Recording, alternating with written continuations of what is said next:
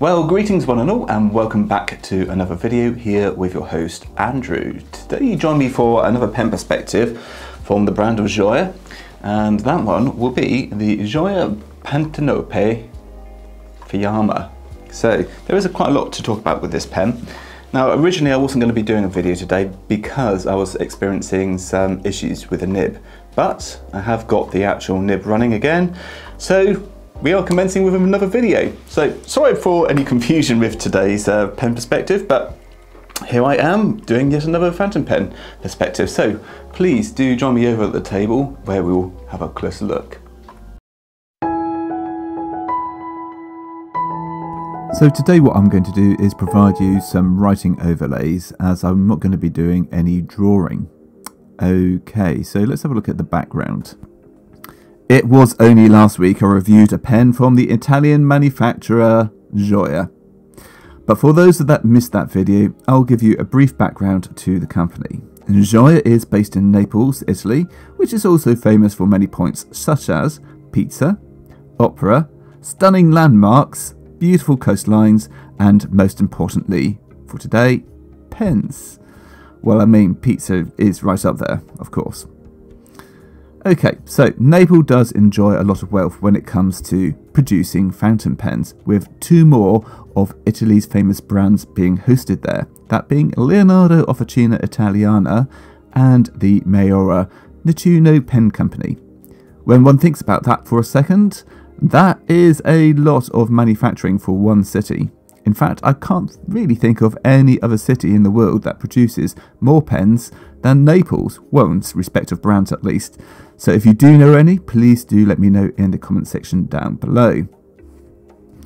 As for this pen, it comes with several translations. Gioia being joy, Parthenope translates to Parthenope, who was a Greek siren and basically means maiden voiced and lastly Fiamma, which is flame.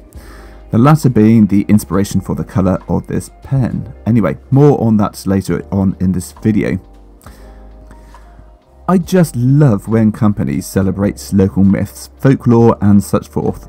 Interestingly, Parthenope has links to Naples. What, you may ask though?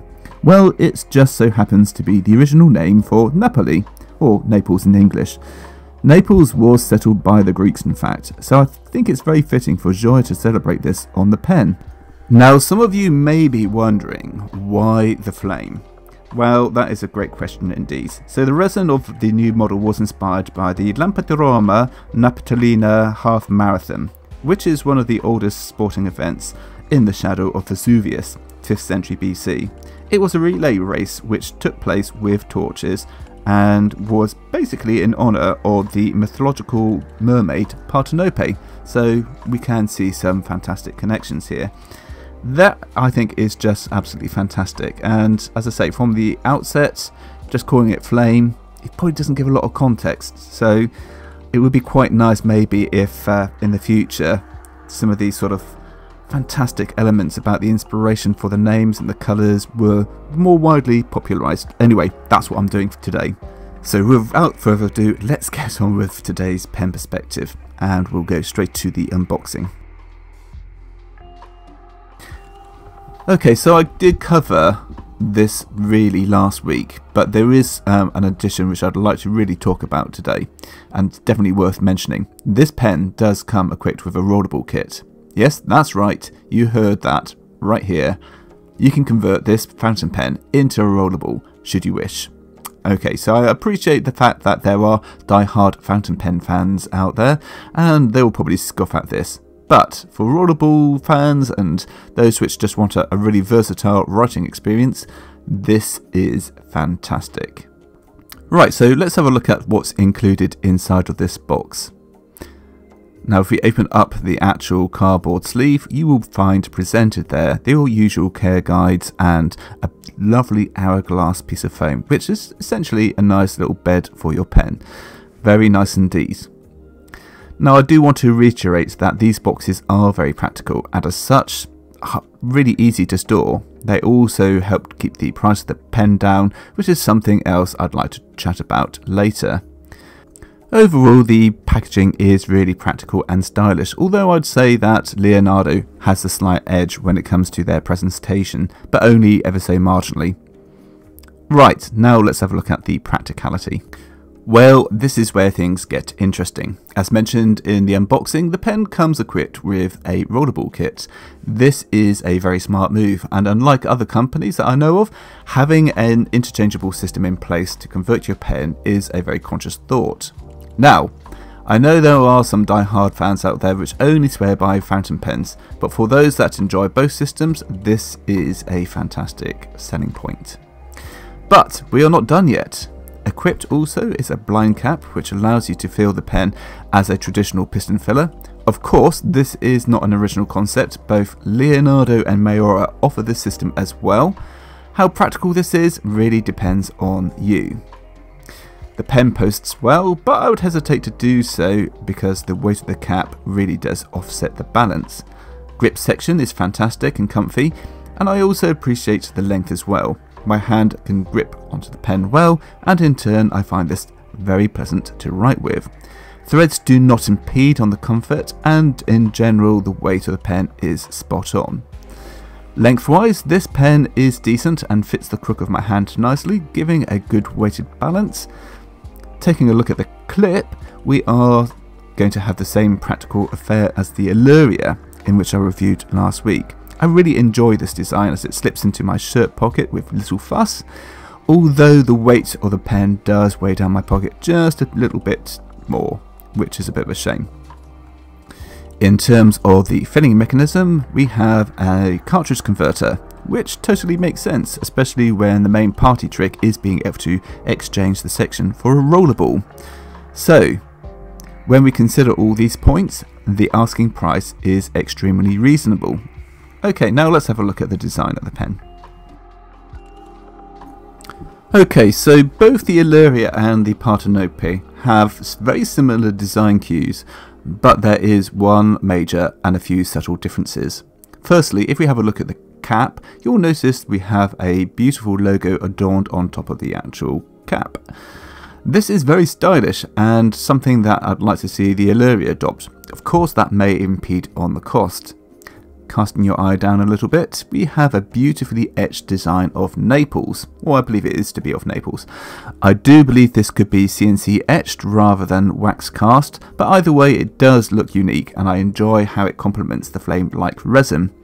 This isn't something you see generally on pens of this price, and again, this separates a pen from the rest of the Naples brands.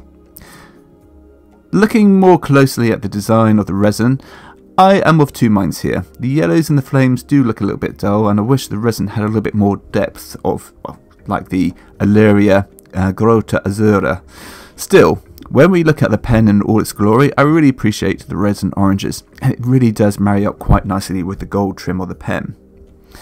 In terms of the trim, we are missing a couple of cap rings, which was on the actual Alleria range, but we have got a fantastic clip which goes almost down to the length of the cap.